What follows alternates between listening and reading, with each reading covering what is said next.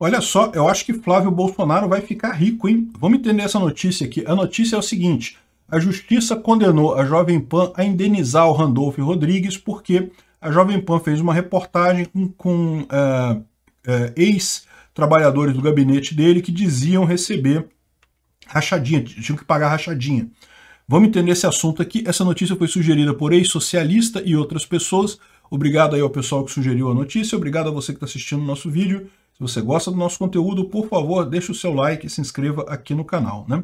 E lembra que é, o meu vídeo sobre política, o Giro pela Política, está lá no Rumble hoje, está bem interessante. A gente está falando sobre o desespero da esquerda com as pesquisas e sobre o que, que significa, no final das contas, a tal da Carta pela Democracia. O pessoal abre, abre, abre o jogo mesmo.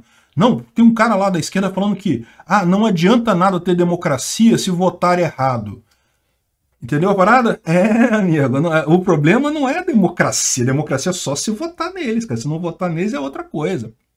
Enfim, não perde não. Tá no link da descrição aqui. Tem uma, quase 20 minutos de vídeo lá falando sobre todos os temas de política lá no Rumble, né?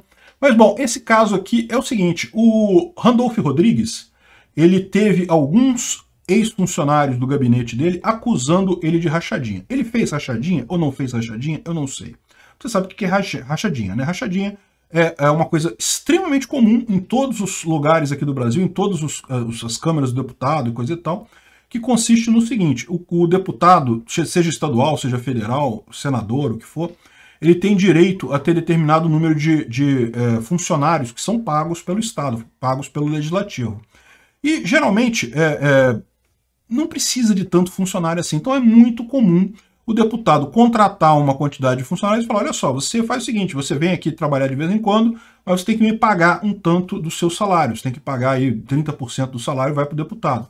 Isso, inclusive, isso consta no programa do PT, tá? O PT ele tem por determinação que todo funcionário de gabinete de é, deputado e senador petista tem que pagar 30% de rachadinha. É por isso que eu falo que tem uma, uma, discussão muito grande se rachadinha é crime ou não. Tem muita gente que entende que não é, tanto que o PT bota no programa de governo dele, lá na, nas, nas, regras do, do PT tem isso. Então, você pode achar isso antiético, pode achar que isso é uma coisa errada, mas eu, sinceramente, na minha visão, se o cara aceitou trabalhar sabendo dessa condição, eu não vejo problema nenhum. Foi um acordo de ambas as partes ali, eles aceitaram fazer aquilo ali. É lógico, todo o esquema é errado, porque o Estado é como um todo antiético, mas essa relação particular, se foi tudo de livre, espontânea vontade, qual é o problema aí? Né? Não tem lógica nenhuma, não tem diferença nenhuma. O que eu acho, e, e, e detalhe, eu acho que seria um problema extremamente simples de resolver, limita o gabinete de cada deputado a dois auxiliares, porque dois auxiliares eles vão precisar. Precisa de uma secretária, de alguém para fazer um office boy, coisa e tal alguma coisa assim, isso precisa mesmo. E pronto, acabou. Resolve-se o problema dessa rachadinha num, numa, numa medida só. Limitado a dois funcionários do gabinete de cada deputado, de cada vereador, de cada senador no Brasil. Resolvido o problema. O fato de permitirem 60 auxiliares, aí tem lugar que permite um monte. Eu não sei o número correto, não. Mas aí você acaba permitindo esse tipo de coisa, né? Acaba sendo inevitável que é interessante para o deputado colocar mais gente lá, nem que seja para receber os 30% é, é, do salário do pessoal. Né? Mas enfim, houve ex-pessoas é, no gabinete dele que disseram que ele fazia isso. Eu não sei se ele faz, se ele não faz, não tem como saber. O fato é, é uma coisa muito comum, como eu disse, e uh, qual que é o ponto aqui? O ponto é que a Jovem Pan falou basicamente isso que eu falei aqui, e uh, ele a, justiça ordenou a Jovem Pan a pagar 3 mil reais ao senador em danos morais, excluir as postagens com as ofensas e uh, ainda fazer uma retratação. Ela tem que, que, em algum lugar ele fala aqui, que ela tem que fazer uma retratação, tem que fazer uma reportagem com o mesmo período, no mesmo lugar, no mesmo horário, falando que não, que não tem rachadinha e coisa e tal, né? Enfim, e aí é uma coisa que você vê aqui, né? Como é que vai ficar isso aqui? Porque, pô, o Flávio Bolsonaro vai ficar rico, então porque acusaram ele esse tempo todo de ter feito esse negócio. O processo foi encerrado, então não acharam nada. Você tem dúvida que se tivessem achado mesmo evidência que não estavam falando disso daí? Né? Lógico que não, né? porque não acharam nada que acabou enterrando o processo. Então, está provado que ele não fez rachadinha também, inclusive tem mais evidência do que o Randolph, porque no caso aqui, o que, que a juíza falou? Ah, não, mas não tem nenhuma evidência real, não tem prova, não foi provado que ele cometeu esse crime, coisa e tal. Mas olha só, mas tem a suspeita, os caras falaram lá, os caras do gabinete falaram, pode ser que realmente não tenha, mas os caras do gabinete falaram.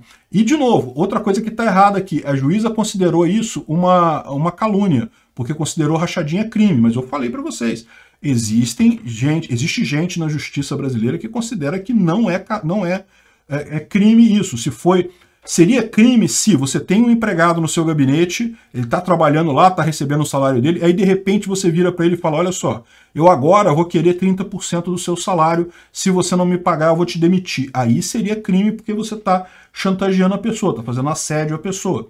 Agora, se você contrata a pessoa já estipulando que ela vai ter que dar um tanto do salário, não me parece crime de forma alguma.